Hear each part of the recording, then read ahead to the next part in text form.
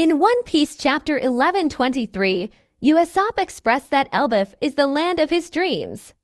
I've seen some wild theories from YT reviewers suggesting Usopp will become a GANT personally. I don't think that will happen.